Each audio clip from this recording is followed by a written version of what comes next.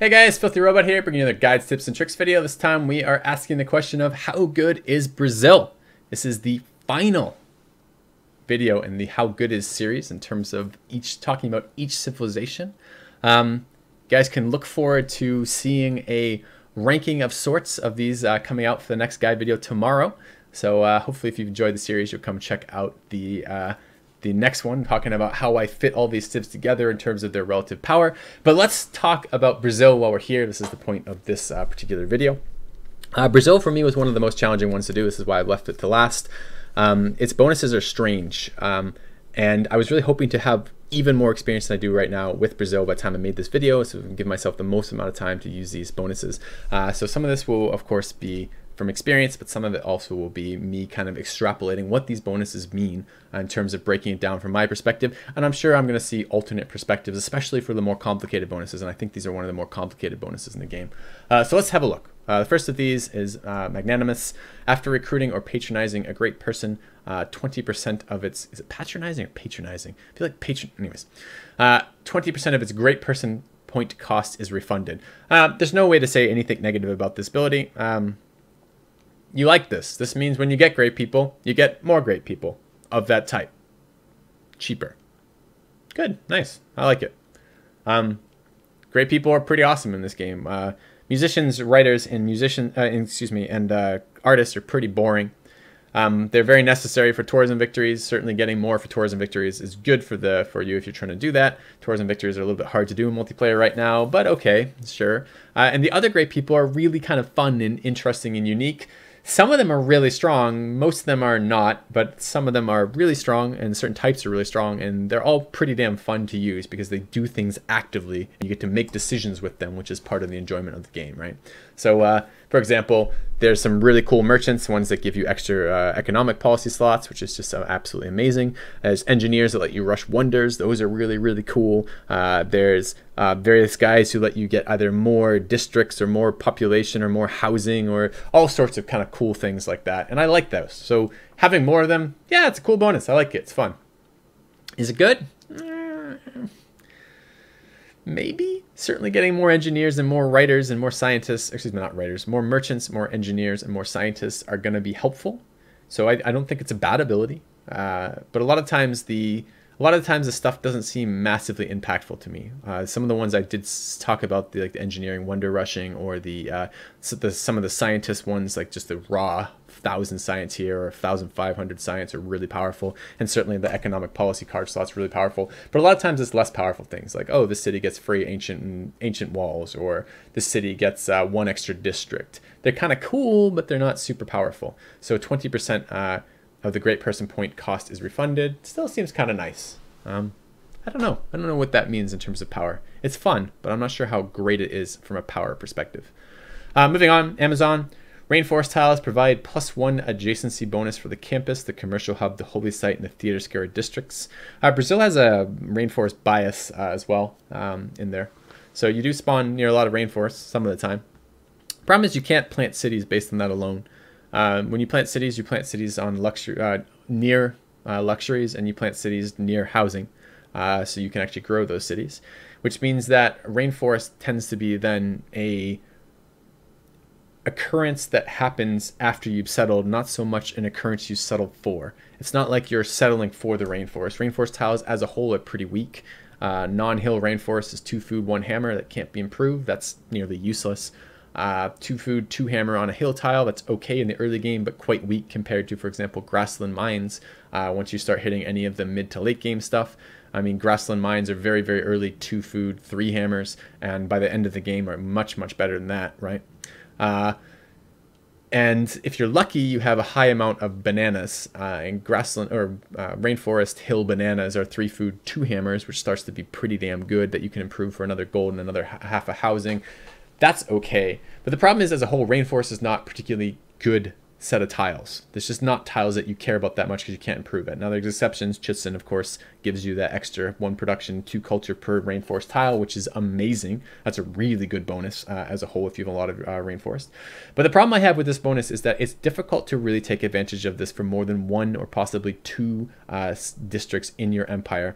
And it's uh, expensive to do so as well. So yes, you might have uh, a city you've settled let's say your capital and it's because you have that bias you've settled in that in the rainforest and uh, you have a big swath of rainforest and rainforest is slow to move through it's rough terrain and often because it's uh it's rainforest which is in of itself rough terrain and some of it's on hills it's like ultra rough terrain it takes very high amount of movement points to move through even for scouts to move through that so you're going to have slower starts in and around rainforest just takes longer for your movements to get your units to get out of that rainforest to other locations or to move through that rainforest to get cities out so you're going to be more susceptible to barbarians, especially barbarian horsemen, which are really, really fast. They have four movement, which means they're going to be more mobile in that shit than you are most of the time. Uh, your units are going to be much slower most of the time. Um, it's going to take you longer to settle places, longer to scout. You're going to get less tribal villages, less uh, city states because you're going to get out of that area slower, uh, et cetera, et cetera. So rainforest as a whole, probably a negative uh, modifier in terms of what type of start location you want. But you're going to get more of that. And let's say you have a city that has a big swath of rainforest, and you want to plant your comp your uh, your uh, campus right in the middle of that.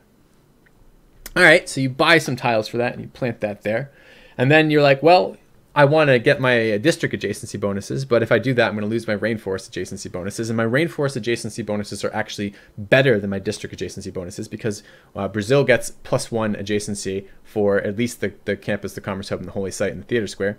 Um, of those, by the way, you will always be building com- commerce hubs because commerce hubs are probably the best district in the game right now. Uh, and you will have to build campuses because campuses are mandatory towards competing uh, in the science game. Holy sites and theater square districts are very uh, situational and sometimes optional. Holy sites as a whole are very hard to pay for in the early game. They're just weak compared to the other districts. And theater square districts have a very similar problem. Uh, so you don't tend to build these as much. So really, the bonuses are going to be campus and commercial hubs. Commercial hubs already have a two gold uh, river uh, adjacency bonus, which means that probably you're still going to be prioritizing the river because between if you if you settled on a river, which you're almost always going to be doing, and you put a commerce hub on a river, and the river gets the two gold adjacency already, and it gets half a district adjacency for being next to your capital, then even one more district, like for example the industrial district, which you also need to make at some point, suddenly you're giving plus three to that commerce hub, which means that you would have to have at least three jungle, uh, three rainforests surrounding that commercial hub to make it equal. So in reality, when I read this bonus, I actually see this almost almost entirely for campuses, although occasionally situationally it might be helpful for your commerce hubs. And very rarely you might bother with holy sites and theater square districts because religion just as a whole isn't very good. Uh, and theater square districts tend to be a little bit, uh, tends to be that district that kind of pushes you over your district cap that just isn't worth it compared to building your other districts uh, and the timing for that. So that said, that's still a very powerful bonus. If you have a lot of rainforest and you have stuff that gets adjacency bonuses for that bonus, that's good. That's something that is uh, something to look forward to as Brazil. You can get some very powerful campus bonuses uh, very early in the game with this because uh, unlike most of the science from the campus districts, which comes from buildings, most of the science actually is from the uh, library, university, and research lab, more so the university and research lab. But in the early game, uh, before you built any of those. The library is only, I think, two science. So if the campus is getting six adjacency bonus, for example, like you know, go on the high end of this, uh, that's pretty powerful in terms of science. Now you have to find that. You got to buy the tiles to get it. You can't do that adjacent to the capital if you're going to maximize that because that's one of your tiles is gone. It's not a rainforest. Blah blah blah. But uh, it's okay. It's okay. Uh, there are some synergies that people have been pointing out in my games as Brazil, even before we've done this review video, talking about some of the pantheons give you additional uh, rainforest. Uh, there's a rainforest pantheon that gives you a, a, a, additional faith for stuff like that. I think it's for your holy site. So if you settle a holy site in the middle of a rainforest as Brazil, and you take the the uh, rainforest pantheon, you can get a lot of faith generation very early. Uh, faith generation very early doesn't seem all that strong, but it does feel like it might be able to synergize with uh, patronizing uh, great people. I swear, man. It's probably said patronizing and patronizing. Um, but anyways, I don't know. I don't know if there's a difference between those words or not. Uh, I know there's a difference in meaning. I know what this means in this space. This is basically supporting a great person or, you know. But anyways, the point is if you purchase them with faith, that's okay. It's very expensive. The cost uh, is based on the number of great uh, great people points you're missing. So uh, it goes up uh, if for example you have zero great person points purchasing a great person with faith of that that type of great person for faith is going to be extremely expensive even on online speeds so it must be astronomical on the slower speeds um, with that in mind you might get more, you might be able to use that faith for that, but that's still not going to be all that much across the course of the game, even if you're generating a lot of faith, because it's just not a very efficient way to spend faith. It scales up very, very quickly uh, the cost of purchasing great people based on the remaining uh, the remaining stuff. But maybe you could snipe a couple of the really important great people by uh, buying out the remainder of it when you're not next in line for it. So maybe there's something to be said about a little bit of faith here. Certainly, you could try some sort of faith purchasing strategy, but honestly. I only I'm, I'm really beginning to back off faith purchasing strategies as a whole, except for possibly Russia, maybe Japan, uh, and that's kind of getting close to about it. Maybe Arabia for faith purchasing, just because it's so hard to get holy sites to invest in holy sites. They're just such a weak district compared to the other districts, and to really have a, enough faith per turn and enough banked faith to get any real value out of the purchasing strategies, you need to uh, have invested in those at a relatively early period in the game to get that faith rolling. Um, so as a whole, I have a hard time investing in holy sites, and I think Brazil is going to suffer from that same problem. If you invest in holy sites, you will be, be you'll be majorly behind in your commerce, uh, commerce industrial campus builds that are required for every city. Uh, and if you happen to settle Brazil and you're settling coastal, where you also need to build that harbor district, investing in that holy site is really, really detrimental because it pushes all that back one district further, which is a big problem. So probably you're going to see this bonus applied primarily to campuses. And is four or five, three or four extra science per city a major bonus? I don't know. Maybe. Maybe. Uh, time will tell, perhaps, on that one to see how big of a deal it is. Is because the question that really comes out of that is is that extra science for Brazil consistently translating into some sort of early or mid game advantage over my opponents? And the general way that science translates into a advantage over my opponents is it gives me access to military units that my opponents don't have faster. Um, and I'm a, I'm not sure if that will happen. Maybe maybe you could do something with Brazil like an ultra early horseman, uh, uh, ultra early knight rush, uh, by going campuses first. But I don't know. I don't know, man. We'll have to see if I can find some sort of early game bonus that's really going to be consistently useful to to uh, justify rushing a campus on that. So we'll see. We'll see. Maybe maybe you could think of it a different way. I guess another way that that could be applied would be if you do build a campus in the capital because it has a ton of rainforest, you get that extra science. Perhaps you can be a little bit slower in building campuses in your expands because you can uh, prioritize uh, production infrastructure a little bit higher, maybe get a monument up in those districts where you wouldn't otherwise, because the capital is carrying the uh, lion's share of the of the science per turn because it has those bonuses, and maybe that means I can build my campuses a little bit later in my expands. As I said, this is really going to be something a bonus that for me sorts itself out as I'm able to play the Civ over and over and over again and think of and try testing different ways in which I can get the most out of that bonus. At the moment, it feels mediocre to me which is, I mean, I suppose from a from a guide perspective, is not the most helpful uh, conclusion. It feels like it's average, I say. well, I mean, to be fair, most of your abilities are going to be average in that. You're going to have the really strong outliers, but uh, still, I, I could see people being annoyed with me for that. All right, let's take a look at the rest of the bonus. Rainforest tiles provide plus one housing for a neighborhood uh, built adjacent to them. This bonus is meaningless.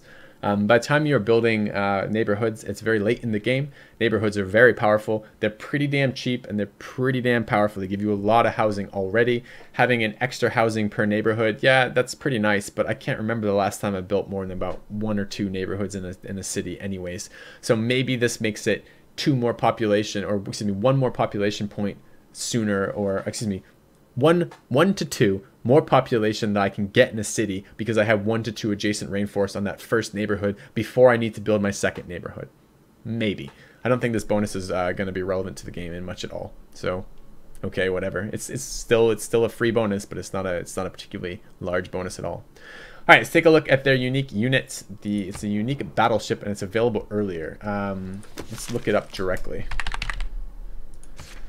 All right, replaces the battleship. It upgrades to a missile cruiser, and it is available where? Um, nationalism. Okay, so where are the regular battleships available? Steel. Okay, so a couple things to talk about here. So regular battleships come into play here.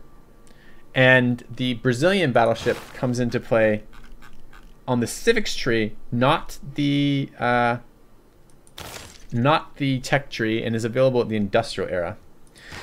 I think what this is going to mean is that that is an earlier era requirement on the civics tree through a tech that is pretty much a must-have for war techs anyways. This is one of the best one of the best civics techs for war games ever because it allows you to make um, corps and corps are very strong, very very strong. It's basically a way to get around to help get around the the one unit per tile restriction. If you have corps and your opponents don't, uh, you're in very good shape to war because your units are just going to be that much stronger on those tiles. So you're going to want nationalism anyways.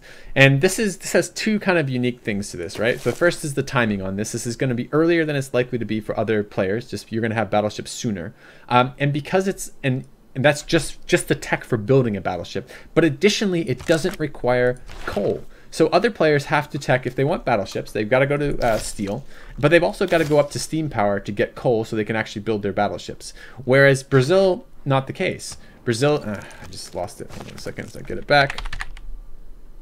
Brazil's uh, going to not have to tech for coal because all of the unique units, uh, they don't have their uh, the, the equivalent um, strategic resource requirement. So anytime you have a unique unit that replaces a, uh, a different unit, it doesn't require uh, it doesn't require the strategic resource for that. So this is going to be a battleship that doesn't require coal that is available at a earlier tech that isn't a science-based tech. So it doesn't require you to go a certain tech path to get it. It's going to be based on your culture and it's going to be based on a civics tech that you already want. So you're already going to be teching for that. So it's going to be inside the normal route of uh, civics progression that you're taking anyways. And it's going to give you a battleship. All right, let's take a look at the combat strength. Uh, battleship combat strength, 60 melee, 70 ranged. Uh, let's take a look at this guy. Uh, it goes up to 60, 70, right? Did I just look at that right? 60, 70, and this one goes up to 70, 80 five movement points compared to five movement points, three range, and I think it was still three range, right? Yes. Huh. So it's quite a bit more powerful. That's a 10 bonus, and 10 is in the range of significant. Uh, it's not like a 20 bonus, but it's much better than a 5. That's a significant boost in power. That's earlier and doesn't require the strategic resource. I've not yet had a reason to have battleships as Brazil yet, but because this is three range, this is massively better than most of the other uh, naval units out there on Pangea maps.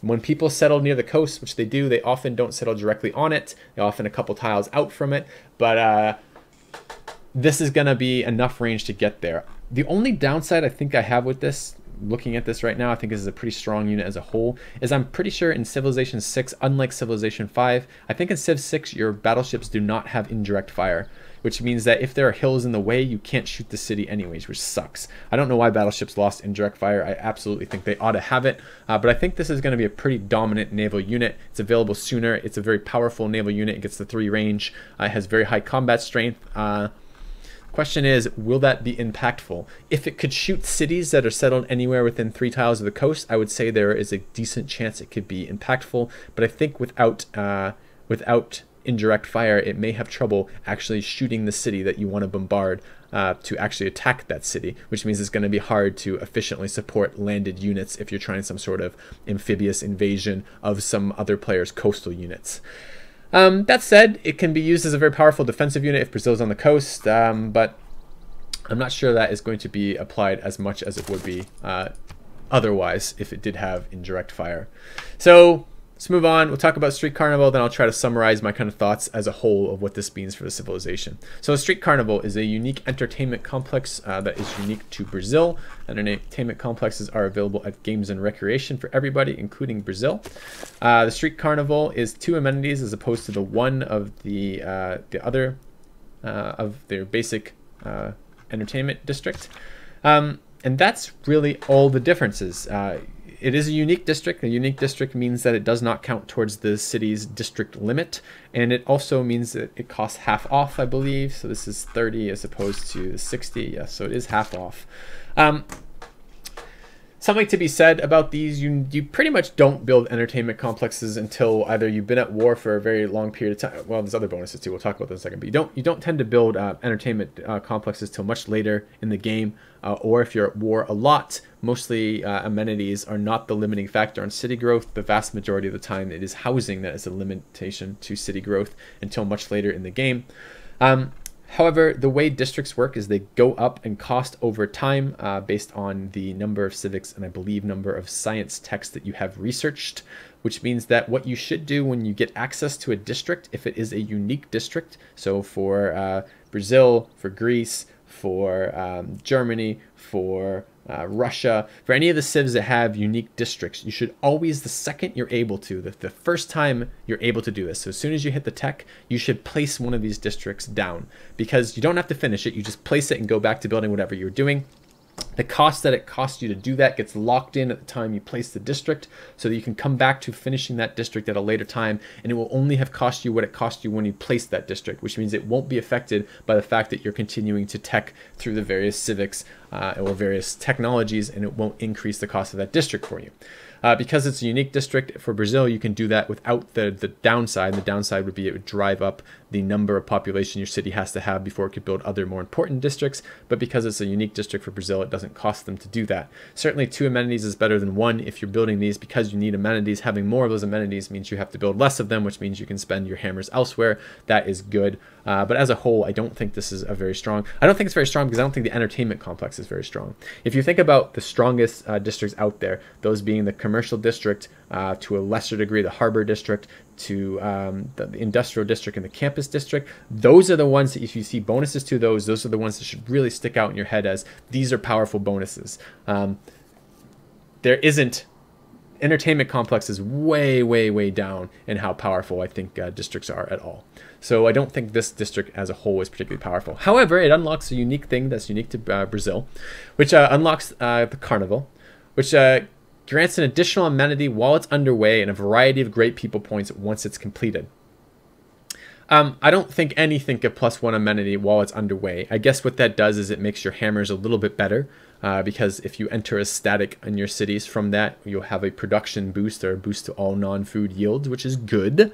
However, as a way of actually treating your amenity problem, you can't have all of your cities perpetually building uh, uh, building projects because they can can't build other things like infrastructure or military, which means that they can't really be tasked with just gaining one amenity uh, for doing that. So you're not going to do it for that. That's just a little bonus of why you're doing it. So the only reason you're actually doing this is you're doing it for the variety of great people points once completed.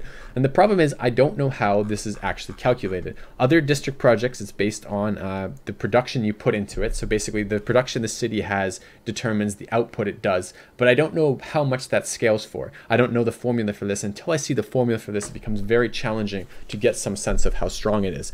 How many great people points am I getting versus the hammers I've invested. I could test this extensively, but let's crowdsource where uh, we, we make our living off of you guys uh, viewing my videos. I do this for a living if you didn't know that. Um, but we can now crowdsource this out to you guys. You guys are going to play, all the people who watch this are going to com combine, play so many more games of Brazil than I will ever be able to in my lifetime, right? Just from you guys doing that. So you guys let me know, what type of returns are you seeing on the various, uh, the various game speeds you play? How good is this in terms of how many great people points are you getting? Does it vary? So is it more for some versus others? Or is it just straight up a flat amount across all of them? Or is it only a different random one each time? How does that mechanic work? And how many great people points you're generating? Feel free to post about that. I would love to see a pretty awesome uh, comment thread about that where you guys discuss that. Maybe we can together get some sense of how useful of an ability this is. Because if it gives you a ton of great people, that's pretty good. If it gives you kind of a weak to moderate number of great people, yeah, okay. It does synergize with Brazil's other abilities, uh, but my fear is that most of the time the great people aren't strong enough to do that. However, it might allow you to rush for very, very important great people. If you already have more great people, uh, get more great people because you get uh, more back, more points refunded for free when you pick them up, and you now have a way to generate them on demand. The problem is, if you think about it that way, if you think about it as a way of actively gaining a great person that you want, most of the times you do that, isn't it going to be better to just run the the, the district project already. So if there's an engineer that you want, isn't it better to run an industrial project instead of the street carnival? The street carnival requires I have built a district that I probably don't want most of the time, and it's going to give me great people points, but it's probably not going to let me target them. So what I would need to see is the magnitude of these great people. Is it giving me more great people more engineer great people in the carnival than it is giving me engineer great people points in the in the industrial district or not. Because if it isn't it feels worse. Because part of the reason why I would want to use this use this project at all is because I want a specific great person. I want to generate those points as quickly as I can to get that. And is it really going to be better to run street carnival instead of just running industrial uh, uh, industrial zone logistics or whatever it's called uh, for the specific project for the industrial district my suspicion is it probably isn't. So this is just a way to generate great people points as a whole, and it turns out great people points as a whole aren't very that valuable as as as you don't want equal level of that. You don't care about musicians, writers, or uh, artists when you're not doing a tourism victory. You almost never care about them when you're not doing a tourism victory. You don't really care about admirals if you're not on the coast. You don't really care about generals too much if you're just sitting in some middle era where you're not expecting a fight, right? So you often care about merchants, scientists, and engineers because all their bonuses are really cool. But if there's a particular engineer, particular scientist you want, and you really, really want him because the bonus is so good, for example, the merchant that gives you plus one economic slot, let's say he shows up and you absolutely want them, is it really better to be running Street Carnival than just the, uh, the Commerce uh, District, uh, district project? My suspicion is it's not, and I'm a bit worried about that because that would be a, quite a uh, quite an unfortunate thing if it's better to run specific district uh, district projects than it is to run actually street carnival. All right. I, I, as I said, I left Brazil uh, to last because I think they are one of the most complex set of bonuses to actually characterize, to actually get your head around what this is doing for your civilization. I mean, clearly, anytime you look at these bonuses, you have kind of two main things you're doing. You're comparing these to other civs bonuses. You're comparing them to how the game is going to play out, and you're you're trying to get a sense of how they fit together to make the civilization unique and to see the bonuses they're doing for that. I I see that Brazil is supposed to be focused around great people points and around rainforest, although this random battleship seems kind of weird.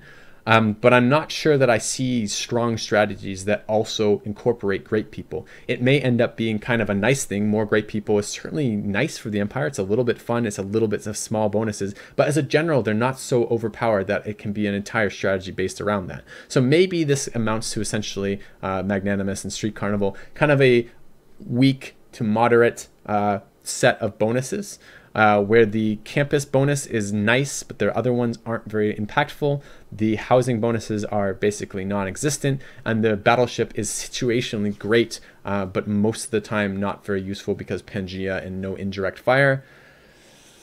We'll see. I think it's going to be hard to attack Brazil if uh, Brazil's coastal cities because those battleships will be able to defend there. I think uh, it's going to be hard for Brazil to expand because of the uh, the rainforest out there and perhaps hard for other players to move troops around efficiently. But I'm not sure we're going to see much Street Carnival uh, in in multiplayer because I don't think it's going to be that impactful. I worry that most of the time I'm going to be end up wasting this rainforest adjacency bonus because a lot of times it's just going to be very small amounts, like a bonus of one or two here per city or something. And I think uh, Magnanimous most of the time is going to be fun, but maybe not all that good.